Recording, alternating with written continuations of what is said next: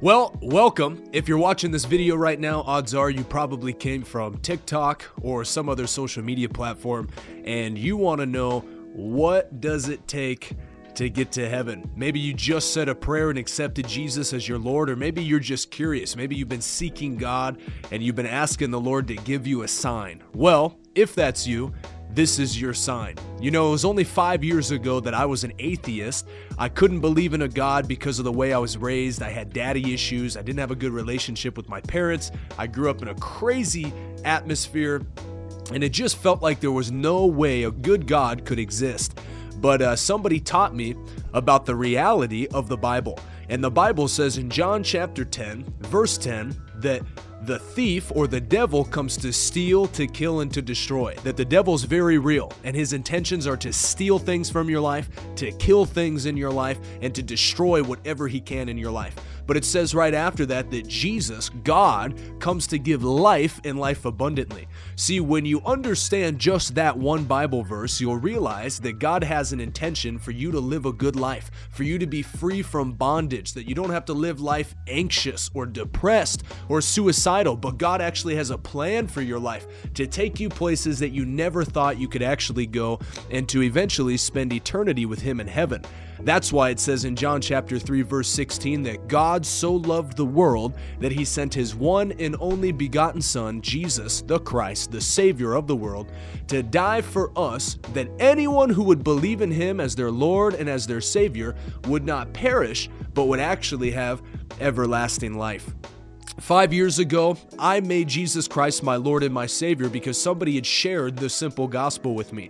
The reality is, you can tell just by looking at the universe, just by looking at the earth, that this beauty of a planet and this universe did not create out of nothing. It obviously had an intelligent creator, and it says in the beginning of the Bible in Genesis chapter 1 that in the beginning God spoke and he spoke the universe into existence. He said, Let there be light after he made the heavens and the earth. And God intellectually designed everything perfectly and good and in order according to his will. But as you continue reading in the Bible, you see that mankind disobeyed God. They went against what God had put in order. That's called sin. They willfully disobeyed God. And when they sinned against God, they ate from the one tree in the garden that He had created. He said, You can eat from all these other trees, Adam and Eve, but do not eat of this one tree, the knowledge of good and evil tree, because the moment that you do, you will surely die.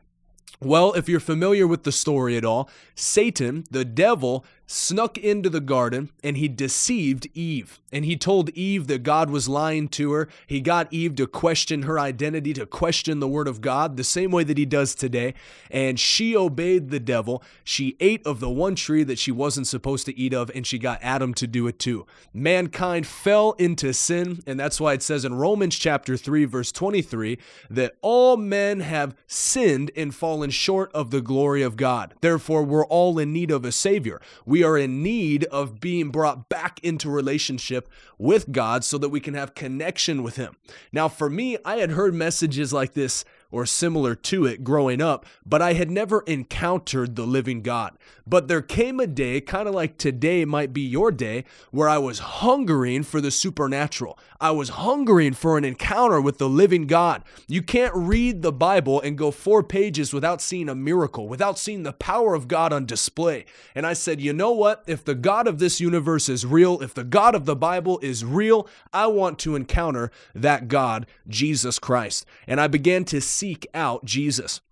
And one night I was at a worship night that my friend had invited me to. I was sort of skeptical, but I knew that in order for me to encounter God, I had to go all in. I had to make a decision to humble myself and say, you know what? If God really is real, I'm going to go out on a limb and I'm just going to believe that I can have an encounter with Him. And that's exactly what happened. I went to a worship night and I stood in the back of the room. I kind of stiff armed everybody and I watched all of these Christians worship and pray, and they spent time seeking God. Now, I wasn't really seeking God in the room, but I was invited, so I just kind of stood back there. And all of a sudden, it felt like liquid love just poured over my body. I felt a peace that surpassed all knowledge. I felt this inward love and this joy that I'd never experienced before in my life. It was it, there's no way it could be natural. It had to be a supernatural encounter. And I encountered the love of God that night. And I knew that I was having an encounter with God and I decided to go all in. And shortly after that, I made Jesus Christ my Lord and my Savior. I prayed that he would come into my heart to make me a born again Christian and I started my relationship with him. So, I'm assuming that because you're watching this video, you're in a similar boat right now. Well, you're about to make the best decision of your life. But really quickly, before I pray with you, I want to go over a couple scriptures with you. Because at the end of the day, my opinion doesn't really matter. My experience doesn't really matter. The Word of God is what matters. It triumphs over every experience, it triumphs over every opinion. You always want to stand on the truth that is the Bible. And this is what the Bible says. If you'll go with me to Romans chapter 10, if you have a Bible, otherwise, just listen to what this has to say, and then we're going to pray together. It says here in Romans chapter 10, talking about people that want to be saved, people that don't want to go to hell, because the reality is there is a hell. The Bible teaches very clearly that there's a hell, but it also teaches that there's a way to escape hell, to spend eternity with Jesus, to repent of your sins, to turn away from your old life and give your life to Him. And this is what it says it says in Romans chapter 10, starting in verse 6. But the righteousness which is based on faith says, Do not say in your heart, Who will ascend into heaven? That is to bring Christ down. Or who will descend into the deep? That is to bring Christ up from the dead. What does it say? The word is near you, in your mouth and in your heart. God's word is near you. It's in your mouth, it's even in your heart. This is the word of faith that we preach that if you confess with your mouth Jesus is Lord and believe in your heart that God raised him from the dead, you will be saved. There's no ands, ifs, or buts about it. There's no questions. If you're willing to confess Jesus as your Lord, if you truly believe it in your heart that He died for you, you will be saved. And listen to this For with the heart one believes unto righteousness, and with the mouth confession is made unto salvation. So the Bible teaches that there's something supernatural that happens when somebody believes in their heart and speaks out of their mouth there's a supernatural action that happens, and it's called salvation. It's the action of faith.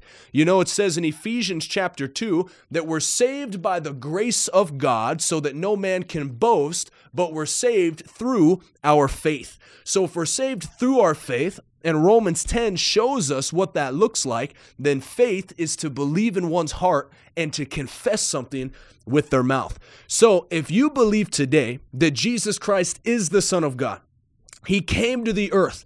He became flesh. He put on flesh. He lived a sinless life and he died for you and he rose again from the dead. If you believe that today, the Bible says, according to your faith, as you confess that out of your mouth, you will act on your faith and that will create salvation. Jesus will come to live into your heart by faith and he will make you a new creation. It says in Second Corinthians chapter 5 verse uh, 17 that any man who is in Christ has passed away, meaning all things have passed away. He has become a new creature. It says all things from his past, all things he used to do, all things he used to think, all things that he used to be attached to, they all pass away. And it says all things become new. Behold, any person that is in Christ, that has given their life to Jesus, is a totally new creature. And that word in the Bible actually means a new species. So when you believe in your heart and you confess with your mouth that Jesus is Lord, you actually become a totally new species. And I can attest to it. I mean, I got kicked out of college twice for partying, for bad grades. I mean, I was a crazy man, but I believed the Bible. And I believed in my heart and I confessed with my mouth on October 25th, 2017, that Jesus Christ was my Lord and my Savior. I received the infilling of the Holy Spirit and I became a born again Christian, a totally new man. I walked away from my old life of partying, of drugs, of women, of all that stuff. I walked away forever. And now I live according to the Bible and I actually preach the gospel. You would have never thought, but this is a walking miracle right here. And if God can do it for me, God will do it for you. Now, if you say right now, Taylan, I believe you, I believe your story, I believe Jesus is the Son of God, and I want to make him my Savior, I want to give my life to Jesus, and I want to spend eternity in heaven. If that's you right now, I want you to pray this very simple prayer with me, and we're going to believe that God's word is true and that he will do exactly what he says that he will do. This is what I want you to do. I want you to close your eyes wherever you're at and lift your hands up toward heaven in a posture to receive. And just simply repeat these words with me. It's not the word, well, I can't even say that. It is the words that make you saved. But I want you to believe this. I'm just giving you this prayer because many people don't know how to pray to God. So you can just follow me. This isn't just copying my words. This is believing what we're saying together. This is praying to a living God. You're not just speaking randomly. God hears this prayer right now. So close your eyes, lift your hands up toward heaven, and say these words after me. Say, Heavenly Father, I believe your word. And today I believe in my heart and I confess with my mouth Jesus Christ is Lord. He came to the earth to be born of a virgin. He walked the earth, lived a sin free life. He died so I could be forgiven. He rose again from the dead and He is alive. Father, forgive me of all my past sins. I turn away from them now, and I give my life fully to Jesus. Come into my heart, Lord Jesus. Make me born again. I choose this day to serve God and I turn my back on this world and the devil forever. I am born again in the mighty name of Jesus. Amen and amen. I believe if you just said that prayer, you just felt a heavy weight lift off of you, the same way I did when I gave my life to Jesus. I remember it felt like the weight of the world was on my shoulders and on my chest. But when I prayed and I gave my life to Jesus, He took all that off of me. He put His Spirit inside of me, and I woke up a totally new person. And I believe that's your story right now as well. Well, if you just said that prayer with me, congratulations. The Bible says if even one person turns away from their old ways and gives their life to Jesus, then all of heaven rejoices. So I believe all of heaven is throwing a party for you right now. What you need to do now is to make sure that you find a good local church. You can type into your phone full gospel church near me. Find a church that teaches the Bible. Don't find a woke church that's preaching that you can like live however you want. No. Find a church that teaches the truth about the Bible, to live holy, that they believe in the things of the spirit realm. Find a church that will not compromise because the reality is Jesus is coming back very soon. You don't have time to go to a church that doesn't preach the full counsel of God's word. So go, find a good church and make sure that you stay plugged into my teachings. Subscribe to this YouTube channel. Make sure that you listen to what I put on this channel because I do my best to build you up in the spirit, to train you in the ways of God, and to uh, to live right so that we end up in heaven together. One last thing before I send you off. Draw a line in the sand today.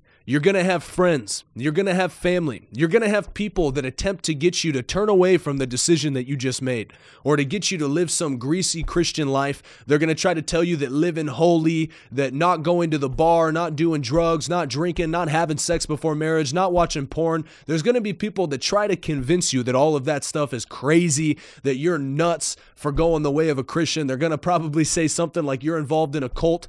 I'm telling you what, I've heard it all. Don't listen to them. The devil will do whatever he can to get you to live like a heathen and go to hell. But I'm telling you right now, if you obey this Bible, you obey what it says, you do everything that I just told you to do, you stay plugged into a good church, and you follow the voice of God, you will never, ever go wrong. I love you so much. If you just said this prayer with me and you gave your life to Jesus, make sure you send me a message on my website. Go to revivalway.com and you can click um contact us at the bottom, or there should be a contact us tab, or you can go follow me on Instagram at Taylan.Michael and send me a message on Instagram. Tell me you just got saved. Tell me you just gave your life to Jesus so that I know how to pray for you and uh, I can send you some free content to help you out. Well, I love you. God bless you. Thanks for watching this video. Share it with a friend that needs to be born again. Jesus is coming back very, very soon. Adios.